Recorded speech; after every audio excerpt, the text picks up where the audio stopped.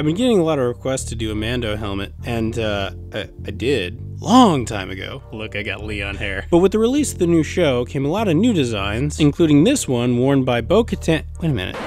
Is that Katee Sackhoff? Yeah, it's Katee Sackhoff. It's Starbuck! Starbucks in Star Wars. Oh man, she's franchise jumping. Okay, I'm gonna wait for the episode where she rips the brain out of a droid fighter. For this build, you'll need EVA foam, contact cement, super glue, a Chicago screw, paint, a flexible filler such as Alex Fast Dry, a Hobart face shield, or some substitute, I got a whole bunch that would work, a heat gun, a sharpening stone, sanding gear, safety gear, Beskar steel, the soul of a battle droid, specifically one programmed to feel pain and fear, scissors, razor pens, and a box cutter. I'm making this primarily out of EVA foam, mainly cosplay apprentice's What the Foam, because he sent me just a ton of it. This is just a generic helmet template that I made a while back. I'll have that available to you guys, linked in the description down below. Once it's refined into a more specifically Mandalorian version, and also, you know, not on a cereal box. Well, that's a paint marker that I'm using, by the way. It's not necessary, but I think the white contrast is just a lot easier to see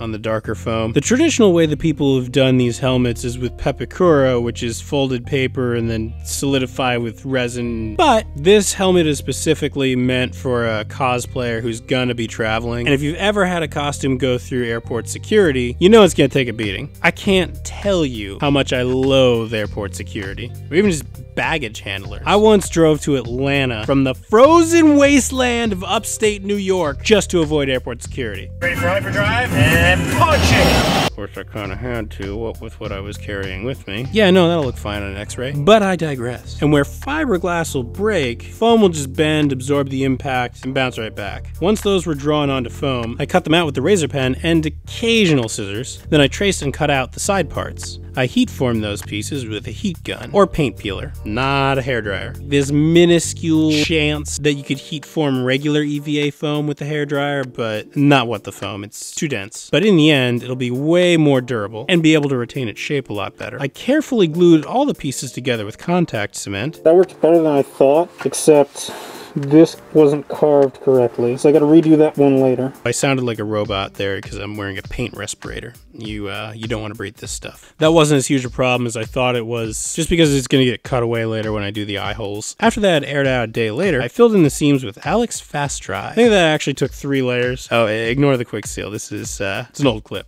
Pretended screen. There we go. Thanks, VisFX Jake. You got it, Other Barry. And now that we have a basic helmet, which I don't know, I like I want to say that's a French medieval helmet, but I think I'm just thinking of Monty Python and the Holy Grail. Right? Anyone else? Just me? No? Alright, moving on. The back was a bit too rounded, so I had to cut out a panel and then put back a shim because I can't eyeball anything worth a damn. And contact cemented that all together. I temporarily taped it there just because there's, there's a lot of stress on this. So I'm just gonna have that there while it dries. Then I did an extremely rough trace of the Mando outline on the helmet. Again, I'm just horrific at freehanding with a paintbrush. I chopped that out. As durable as what the foam is, it actually cuts pretty easily, just like butter. Then to figure out the faceplate, I shoved a sheet of regular old craft foam in there and traced an outline, and then just guessed at the rest. I cut that out, and sliced out the cheek portion. I was hoping to use the cutout as part of that interior cheek alcove geometry, but it didn't quite work, and I ended up ruining a perfectly good piece of foam in the process, and that's just gonna go in the ocean and poison a dolphin. But this is actually exactly why I switched to the cheap foam here. If you mess up, you waste like 50 cents. So I quickly just traced and made a few more, taped those on there to do a test fitting, and I liked it, so I glued those on. I glued a point to the center, because that's how you know it's a girl Mandalorian, and I filled that in with filler. I cemented those in place. You know, that'd be good as an orc helmet. I think all orc helmets are just failed Star Wars helmets. Those interior cheek alcoves were a lot of guesswork. Trial and error that luckily you won't have to deal with. It's all taken care of in the templates. I glued those two curves together with super glue. For some reason, I took a break to work on the earpieces. So there's these triangular pieces at the bottom, which I cut from scraps left over from the Thor hammer. But there, really, there's no reason why you can't cut them from scratch out of regular foam. Then I built the rest out of scrap foam and super glue. This helmet is slightly sparsely greeblied in comparison with the traditional Boba Fett or even Mando helmet, but the whole point of Mandalorian armor is you, you put your own sense of style and personality into it. So do what you want. You must do what you feel is best, of course. Hello there. Hello there. Hello there. These aren't the droids you're looking for. You don't want to use super glue for the main curved pieces because it doesn't flex, but the detail pieces aren't under any sort of stress, so they're fine. For the antenna axle, the swivelly part, that's the technical term, it's the swivelly part, I used a Chicago screw. For the antenna stock, or rangefinder mount, whatever you want to call it, I used an extremely thick piece of ABS plastic. You could cut it out of foam, but it might bend from the weight of the rangefinder, especially if you put lights and stuff in there, and that just looks silly. It'd be like a sad Mando. The point is, sometimes you want to build for durability. The antenna needs a stopper to keep it from falling backwards or down below the eye line, so I made those out of craft foam as well. I guess I could have used wood or something, but I think that's a good place for the shock absorbency of foam, right? I also cut a hole in the outer piece just so that I could remove the antenna for maintenance if I ever needed to. When you layer foam like this, you get seams, which I'm not going to say it's a bad thing because this is a machined object. I feel like there would be machine panels, especially since there's all this technological stuff. You gonna tell me he's got two buttons to control his jetpack? No, there's like a whole computer system in that suit of armor. But I didn't see them in the show, so guess I'm just gonna fill them in. I duplicated that earpiece on the other side, but this time without the Chicago screw, just because, you know, only one antenna on this suit of armor. Then I sanded the filler material material. I don't have footage of that because the sanding camera's power supply quit and that was not in the budget for this video. And segue! So we're just gonna go straight into the gluing time-lapse slash Patreon scroll. This is where I thank all my patrons. Those are the people scrolling by who support these videos and offer the opportunity to support these videos from the people who are capable of supporting the arts. Beyond the material cost of the individual build, these videos take a tremendous amount of time to create and the tools and equipment are extremely expensive and frequently break down and need to be repaired and replaced due to natural wear and tear. I'm data mining! Okay, that has to sit and air out for a while, so while that happens, I'll be working on some of the detail pieces that go behind the ears. Ears, antennas, antenniers. Yeah, sure, let's go with that. I also made a band for the back of the...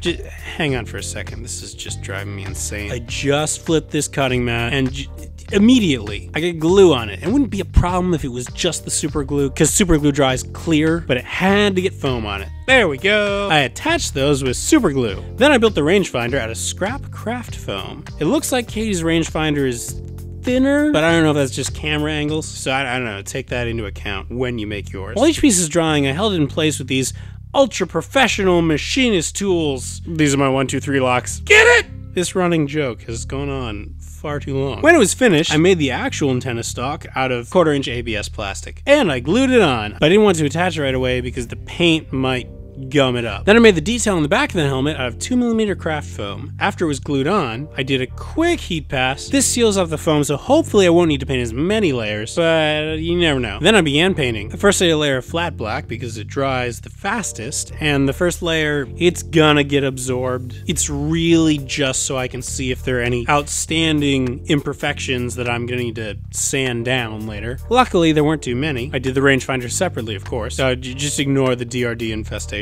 my workshop is on a space whale. And it looked pretty good. So for the next layer, I used gloss black house paint, which dries shiny. To get that metal look, the base coat has to be shiny. That's why I'm emphasizing it. That's two coats, so I think uh, one more coat of black should even that out and make the whole thing shiny. So I just realized that I've been building some reference photos of two different Lady Mandalorians. The character with no lines has uh, a much simpler antenna detail than uh, Katee's does. So if you're specifically making Katee's helmet, then there's a little greebly there, and these edges are sort of filed down a bit, which you can do with the rotary tool. I'm using this cosplay silver from Michelle's still kind of as a base coat. I'm gonna paint blue on top of most of this. If you want to be a totally even silver, then you have to do two or three coats. What I'm going for, one and a half essentially, will give this sort of tarnished but shiny look. If you just want it to be chrome, then you can use Molotow and an airbrush or autochrome spray paint, which I did in the King Arthur helmets. Just you gotta be really careful of how thick you put it on, otherwise it'll it'll drip. But my incredibly unique situation is I know that eventually I'm gonna have to repaint this, because like I said, this is for a client. She was not thinking of Bo-Katan when she placed the order. This is just I have time to screw around. Knowing that all this work will get covered up. Why do you do this?